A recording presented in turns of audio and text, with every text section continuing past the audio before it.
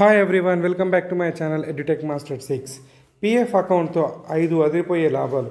ఒక్క రూపాయి చెల్లించకుండానే ఆరు లక్షల benefit employees provident fund organisation EPFO తన సబ్స్క్రైబర్లకు పీఎఫ్ అకౌంట్ సర్వీసులు అందిస్తున్న విషయం తెలిసిందే. ఉద్యోగం చేసే వారికి పీఎఫ్ అకౌంట్ ఖచ్చితంగా ఉంటుంది. ప్రతి నెల ఉద్యోగి వేతనంలో కొంత భాగం పీఎఫ్ అకౌంట్కి వెళ్ళిపోతుంది.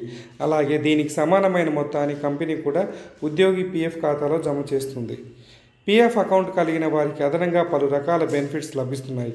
పీఎఫ్ అకౌంట్ కలిగిన వారికి ఉచితంగానే ఇన్సూరెన్స్ లభిస్తుంది. Employees deposit linked insurance EDLI స్కీమ్లో భాగంగా పీఎఫ్ సబ్స్క్రైబర్లకు ఈ బెనిఫిట్ లభిస్తుంది.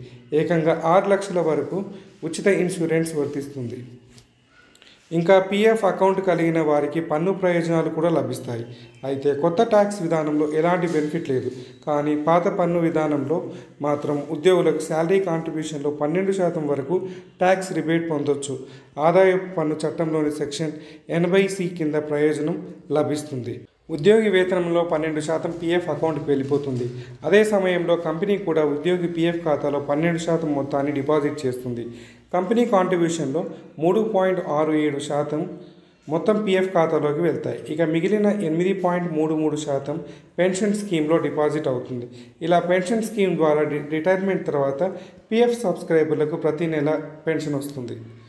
అంతేకాకుండా పీఎఫ్ సబ్స్క్రైబర్లు ఎప్పుడైనా డబ్బులు అత్యవసరమైతే పీఎఫ్ ఖాతా నుంచి విత్డ్రా చేసుకునే వెసులుబాటు ఉంది.